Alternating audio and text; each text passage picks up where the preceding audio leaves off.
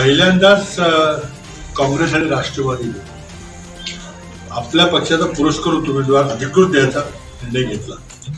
आणि नंतर महाविकास आघाडीनं सर्व ज्या निवडणूक आहेत त्यामध्ये जागा वाटून घेतल्या. काही ठिकाणी काँग्रेस काही ठिकाणी राष्ट्रवादी काँग्रेस पुढे शिवसेना. अशा प्रकारे आम्ही ही निवडणूक लढवतो आपल्या जिल्ह्यामध्ये आपण जर पाहिलं तर तिन्ही पक्ष महाविकास आघाडीचे शिवसेना राष्ट्रवादी काँग्रेस आणि काँग्रेस. हे एकत्रपणे या निवडणुकीमध्ये प्रचार करत आहेत. पदवीधर मतदारसंघामध्ये अरुण लाड आहे आणि शिक्षक मतदारसंघामध्ये जयंत हसगावकर हे आमचे उमेदवार होते. उद्या त्याला मी आणि बंटी पाटील दोघेही बहुतेक सातारा जिल्ह्याचा दौरा करणार आहे. त्यामध्ये वडूज देवळी तर फलटण लोंढाळा लोणंद आणि कोरेगाव जबलपूर असा तो आमचा आहे. उद्या कैलास यशवंत चव्हाणांची पुण्यतिथी आहे तो कार्यक्रम करायचे करून तो बाहेर आहे. नंतर मग आमचे तालुक्याचे मेळावे वगैरे चालू आहे. आतापर्यंत बरेच मेळावे झाले. सर्व मेळावे संयुक्त मेळावे आज काही सातारच्या प्रमुख शिक्षण संस्थांना भेट देण्याकरता बाहेर पडलेलो आहे.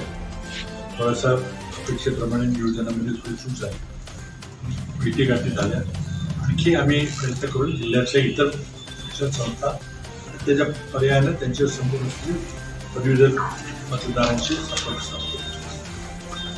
ही निवडणूक महाविकास आघाडीचं सरकार स्थापन झाल्यानंतर पहिलीच निवडणूक होते. आणि या निवडणुकीच्या माध्यमातून आम्ही महाविकास आघाडीचं सरकार का स्थापन केलं याची पार्श्वभूमी त्या पार्श्वभूमीवर आम्ही एकत्र येऊन या निवडणुका लढवतो याची सर्व सहकाऱ्यांना आणि मतदारांना सांगण्याचा प्रयत्न करतो.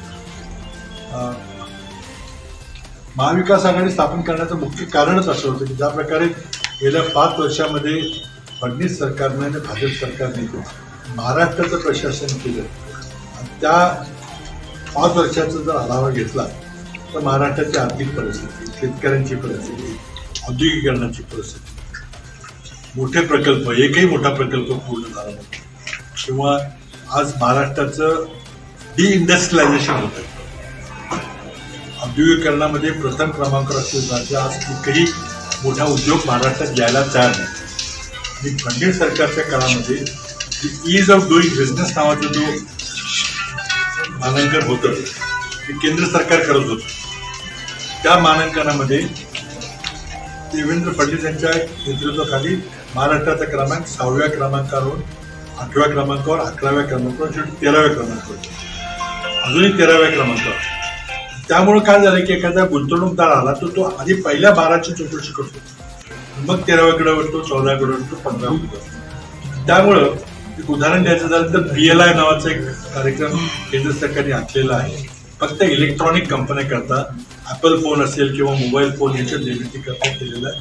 चाळीस हजार कोटीचा अनुदान त्यामध्ये पाच वर्षात ह्या सरकारनं खरं म्हणजे ते परिस्थिती बदलायचा प्रयत्न केला पाहिजे पण दुर्दैवानं कोरोना आल्यामुळं आपल्याला कोरोनाशिवाय दुसरीकडे काहीच लक्ष द्यायला पण हे आमच्या समोरचं महत्वाचं उद्देश असणार आहे की आज भारताची आर्थिक राजधानी मुंबई आहे का? हा पहिला प्रश्न आहे. आणि मी जर काही उदाहरणं दिली तर लंडन स्थित ऑक्सफोर्ड इकॉनॉमिका म्हणून एक कंपनी आहे जी मागच्या सरकारच्या काळात विषय म्हणला होता. किंवा मुख्यमंत्री देवेंद्र फडणवीस यांनी जोरात त्याने नकार दिला. म्हणे नाही असं बिलकुल नाही. आम्हाला मान्य नाही म्हणजे आणि तुम्हाला मान्य नसेल तर तुम्ही म्हणतात की आम्ही जगात सर्वात चांगले आहोत. पण गुंतवणूकदार हे त्या कंपनीचा अहवाल वाचतात. देवेंद्र फडणवीस स्टेटमेंट वाचत नाही त्याची प्रचिती आपल्याला लिहायला लागलेली आणि म्हणून आता आमच्या सरकारसमोरचं सर्वात महत्वाचं काम आहे की अर्थव्यवस्थेची जी अधोगती झालेली आहे. गेल्या अकॅडमी आपल्याला फार सांगत नाही कारण ते आम्ही बोलत असतो. परंतु कोरोना सुरू व्हायच्या आधी अर्थव्यवस्थेची जी अधोगती झाली होती ती आपण लक्षात घेतली पाहिजे. कोरोनामुळे झालं असं नाही कोरोनामुळे तर झालंच झालं पण त्याच्या आधी म्हणजे मार्चच्या आधीपर्यंत जर तिमाहीचे आकडे पाहिले तर देशाचा आर्थिक विकास दर हा तीन पूर्णांक एक टक्क्यापर्यंत आला होता.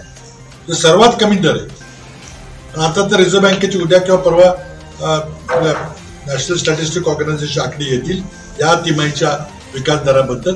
म्हणजे सलग दोन टीबीआयमध्ये जर अर्थव्यवस्था जर पुणे क्षेत्रामध्ये गेली तर त्याला महामंदी किंवा रिसेशन म्हणतात. ते रिसेशन भारतात आलेलं आणि याचा सगळ्याचा परिणाम रोजगार निर्मितीवर आणि ग्रॅज्युएट युवकांच्या फळावर त्यांना ग्रॅज्युएट युवक जे बाहेर पडतायत ते छोटी नोकरीच्या शोधात तेव्हा जातील तेव्हा त्यांच्यासमोर अंधकारमय भविष्य दिसते म्हणून पदवीधर उमेदवाराच्या दृष्टीनं शिक्षणाची गुणवत्ता वाढली पाहिजे कशाकरता वाढली पाहिजे तर युवकांना ग्रॅज्युएट झाल्यानंतर त्यांना काहीतरी हाताला काम मिळालं पाहिजे नोकरी मिळाली पाहिजे स्वतःचा उद्योग सुरू करता आला पाहिजे. हे पदवीधर उमेदवाराचे प्रश्न असतात आता तो काही देशाची अर्थव्यवस्था काही बदलू शकणार नाही पण फोकस करू शकतो. आणि शिक्षकांच्या उमेदवाराचे जे प्रश्न आहेत ते विनाअनुदानिक संस्थांचे आहेत. आजची परिस्थिती आहे की जवळजवळ दहा दहा अकरा अकरा महिने शिक्षकांना पगार नाही. बहुतेक चांगल्या चालणाऱ्या संस्थांनी शिक्षकांचे पगार निम्मे केले बाकी ज्या वाईट आहेत त्यांचा तर प्रश्नच चर्चेला चर्चेचा आहे. या ठिकाणी आमचं एवढंच म्हणणं की एकदा पक्षाचा आमदार म्हणून निवडून आला तर त्याला सर्व पक्षाच्या विधिमंडळ पक्षाचं त्याला बळ असतं. अपक्ष उभं राहिला तर ठीक आहे कुणा आला तर आला गेला तर गेला कुणा शिक्षकाचा आमदार आहे तो करतो आता हा पक्षाचा आमदार असतात म्हणून याला विचित विशेष महत्त्व आहे. आणि ही लढाई मी मानतो की नैमित्तिक लढाई आहे. दोन उमेदवार आहेत दोन आमदार होते आणि खरी लढाई विचाराची लढाई. त्यामुळे भारतीय जनता पक्षानं ज्याप्रमाणे गेल्या पाच वर्षामध्ये प्रशासन केलं जी विकासाची परिस्थिती होती. अंगाशी म्हटल्याप्रमाणे एकही मोठा प्रकल्प पूर्ण झाला नाही. गोष्टा खूप झाल्या. एकही मोठा उद्योग इथं आला नाही. अशा परिस्थितीमध्ये ह्या भारतीय जनता पक्षाला पुन्हा सत्तेत पुन्हा योजना करता आम्ही महाविकास आघाडी स्थापन केली. तर कोविडमुळे थोडेसे प्रश्न निर्माण झालेले आहेत पण उत्पन्न कमी झालेले आहेत. खर्चाची बंधनं आलेली तरी पण महाविकास आघाडीने शेतकऱ्यांचे प्रश्न असतील कोविडचे प्रश्न असतील अतिशय समर्थपणे प्रशासन चालवलेलं आहे. आम्ही या अधिवेशन होते हो घातलेलं आहे सात तारखेला. तारीख पुढे ढकलायचे चाललेल्या माहितीने महाराष्ट्रातले जे कोविडचे प्रश्न आहेत प्रामुख्यानं दुसरी लाट येणार का वॅक्सिन आलं तर ते कसं पोहोचवलं जाईल हे प्रश्न तुमच्यासमोर आहेत आणि मी आपल्याला आकर्षित करतो की महाविकास आघाडी सरकार हे सगळे प्रश्न समर्थपणे तिन्ही पक्ष एकत्र येऊन आम्ही ते सोडवायचा प्रयत्न करू. आजची जी आमचा जो आजचा दौरा आहे तो पहिल्यांदाच बऱ्याच दिवसांनी सातारा आलो. मध्यंतरी आमच्या पक्षाच्या कार्यक्रमात आलो होतो. पण कोविडच्या काळामध्ये मी बहुतेक जास्त फिरायला बसायचं. काही केलं आता थोडंसं कमी झालेलं आहे. बहुतेक दुसरी लाट जर आली नाही तर मग आता माझा सतत स्वतःशी संपर्क सतत संपर्क संपर्क ठेवून आपण सर्व विषयाच्यावर चर्चा करूया. दुसरा एक विषय आपण मला विचारायच्या आधी मी सांगतो तर मला बरेचसे पत्रकारांचे फोन आले. की आज टेलिव्हिजनवर एकच बातमी आहे की सरनाईक प्रताप सरनाईक यांच्या घरी ईडीचे छापे पडले मला एक इन्कम टॅक्सची नोटीस आलं होतं मी का- काही दिवसापूर्वी सांगितलं होतं. मलाही त्याला नोटीसचं उत्तर द्यायचं आहे. काही दिवसापूर्वी शरद पवार आणि सुप्रियाताई सुळे यांनाही इन्कम टॅक्सच्या वगैरे नोटीस झाल्या होत्या. त्याच्या आधी पवारसाहेबांना ईडीची नोटीस आली होती सगळं माहिती तर हा अधिकार या आपल्या कायद्यानं आपण या सगळ्या संस्थांना दिलेले आहे की चौकशी करायला तुम्हाला अधिकार आहे कोणाने नोटीस पाठवा समन्स पाठवा. पण नेमकं काय होतंय की विरोधी पक्षाच्या प्रमुख माणसालाच टार्गेट केलं जाते सत्ताधारी पक्षानं गेल्या पाच वर्षामध्ये जो अंधेर गर्दीचा कारभार केला आर्थिक भ्रष्टाचार जे झाले सगळे ते कोणाला तुम्हाला दिसत नाही. त्यामुळे या सर्व संस्था फक्त विरोधकांना मोडण्याकरता जे पक्षांतर करून त्यांच्या पक्षात येत नाहीत अशा लोकांना मोडण्याकरता वापर केला जातो. आणि हे निषेधार्थ आहे. तुम्ही जर काही खटले भरले तर तुम्ही निकाल दाखवा ना. तुम्ही दाखवा किंवा अमुक अमुक आम्ही लोकांना तुरुंगात टाकलं किंवा ऍक्शन घेतली आणि त्याची ही झाली कोर्टातनं आम्हाला न्याय मिळाला कोर्टातनं या माणसाला शिक्षा मिळते कोर्टातनं शिक्षा दिली त्याने चूक केल्याचं त्याचं आम्ही स्वागतच करू. पण फक्त तुम्ही लोकांना अडकून ठेवता. आता भुजबळ साहेबांचं झालं. तीन पावणे दोन वर्ष पुढं काय झालं? मग तुम्ही खटला भरला का? खटला चालू झाला का? काय नाही. मध्यंतरी अजित पवार आणि पवार साहेबांना ईडीची नोटीस दिली. पुढं काय झालं? म्हणजे ज्या पोलिसांनी नोटीस दिली त्यांनीच काढून घेतली पुढं. म्हणजे राजकीय कारणाकरता हे सगळं चाललेलं आहे. हे हे निश्चितार्थ तुम्ही एखाद्या वेळ काय चूक झाली असेल तर जरूर ती कारवाई करा. खटला भरा. खटल्यामध्ये न्याय मिळवा. न्यायाधीशाकडून शिक्षा मिळवा. मग मला सांगा की बघा आमच्या सरकारनं खाऊंगा न खाऊंगा म्हणून जी मोदींनी घोषणा केली होती त्याप्रमाणे मी वागतो आणि तुमच्याकडे किती कागदपत्र पडलेत परदेशी कंपन्यामध्ये पैसे होते पनामा पेपर्स आहेत पॅराडाईज पेपर्स आहेत. लिख्तेन मधल्या बँकेचे सगळे कागदपत्र तुमच्याकडे आहेत. तुम्ही एकावरही कारवाई करत नाही नुसती पोकळ म्हणजे आता बस झाली. आणि त्यामुळे एकच सांगतो शेवटी की अर्थव्यवस्थेबद्दल मला गंभीर चिंता आहे. आणि अर्थव्यवस्था कोसळली की त्याचा अर्थ गुंतवणुकीने रोजगारात थेट परिणाम होतो. निवडणुकीच्या माध्यमातून आम्ही ते फोकस करतोय. पण निवडणूक होऊन जाईल आणि दोन आमदार निवडून येतील पण अर्थव्यवस्था मात्र जे वाटोळ झालेलं आहे ती गर्तेत गेली आहे ती कशी सावरेल याबद्दल मला स्वतःला फार चिंता आहे.